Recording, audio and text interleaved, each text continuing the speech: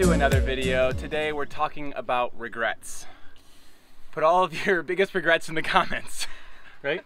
This is a heart to heart, you know. Yeah, yeah, yeah. Now, van build regrets. What do we regret about our van build?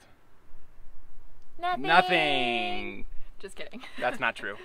We regret some things. Specifically, five things. We'll go from the smallest regret to the biggest regret. To kick it off with our smallest regret, it would have to be not putting an awning on Ah, that's during our van build. there were a few things because of you know budgetary reasons we wanted to maybe put on after we finished the build And an awning was one of those. without giving too much details the way that we put up our racks and our solar panels it's just going to be just downright difficult. The reason this is our smallest is because it's still possible, it's just going to be a little more difficult. our next and again going in level of importance here because this one's pretty small as well and you know what i'm actually going to let mallory i don't have a problem with this one but this is one of her biggest regrets. Go ahead. No please tell the people. So, one of, I guess, my regrets um, is the she regrets how i built it pretty much is what she's saying is the placement of the door handles Oh. or the the cabinet handles, I should say. Our kitchen cabinet handles, just the placement of them is a little too low. So you know, we're super old. You got to bend down to open them. She's gonna blame me for like back problems in 30 years because of where I put these handles. Again, small regret. So bringing it to our third one, it would have to be our hot water heater, which Or our lack of a hot water is non-existent. And it's not the fact that we don't have a hot water heater. because we left ample room. Ample? We left plenty of room to add one. That was the whole point.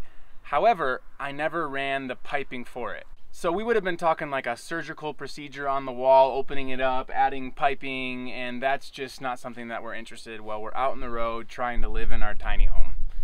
Again, possible, but not a simple task to say the least. And we knew what we were doing when we didn't put hot water in. We just ended up finding out a few months in that we really wanted it for dishes. Our dishes are always like 80% clean. We just 85. 85% clean. Sometimes Mallory would just be like, "Oh, these noodles taste like soap." And then I'm like, "Crap, we could have used the hot water heater." So, another regret for you. Don't make the mistakes we made. That should be the slogan of this video. It's not that catchy, so maybe not. Anyways, Okay, and we are down to our final two. In this one, again, there's one above this, but this one is the one that keeps me up at night. It just, I, I, I should have known better, honestly. It's just, and I see it all the time. Ugh. As shown in this video, this is not something that you're gonna find on Instagram or in any close-ups, but you know what? We're just pouring out our soul to you right here. Biggest regrets. These are simple cracks in the walls, but let me stop right now and say They were not here when we started van life. they, it, Mallory, tell, tell them. I spent hours upon hours upon layers upon layers wood puttying these cracks and they still came back for us. Moral of the story when putting up walls in your camper van, use as few pieces of plywood as possible. Just to kind of backdate this video, we built our van during the middle of a pandemic. That's right, in 2020 we had a pandemic. It's called COVID 19. And a lot of different things happened in the economy. One of those being Wood prices. wood prices went through the roof. And I tried to be economical and use all of our scrap wood, but this is one area I should not have taken that shortcut. All things considered, it really isn't that bad, especially to other people who see our van, but to us, the ones that built it, it just looms over us every day. looming cracks on the walls. Last but not least, our biggest regret of the van. Oh, yeah. The size of our refrigerator. It looks like you could buy it at Toys R Us. Really good if you live in a hobbit hole. If you want to keep like three to four drinks cool, this is perfect. We'll send you the link. I know we're ragging on it, but it really isn't that bad. And we call this a regret, but it really was just kind of a screw up in the ordering process. We could have always shipped it back, but we just followed through because, you know, we had never done this lifestyle before. We didn't know the size of a fridge that you might need in a van. So, what had happened was someone told us, and I'd actually seen this truck fridge. You can get it at truckfridge.com, I think, and it was a TF49. He gave me the model, and I was like, cool, I'm gonna order this exact one. I went on the website, ordered the first TF49. Take a look at this website.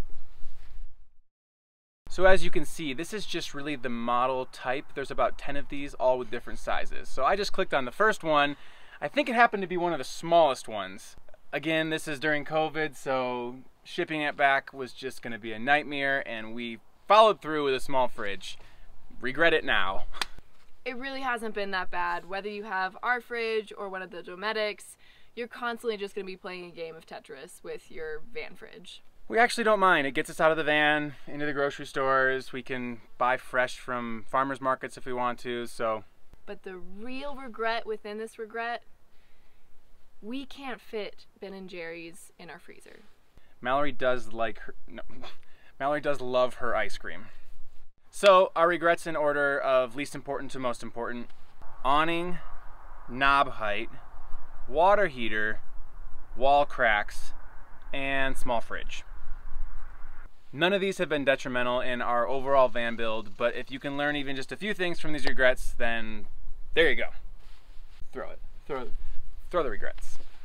And if you're new to our channel, welcome. We try to post content every one to two weeks. That's right. So subscribe, uh, alert, uh, comment, like, click, tap. I don't know all of them. We also have an Instagram that we post more than every one to two weeks. So if that's more your cup of tea, head there as well. Until next time, Van Here Adventures out.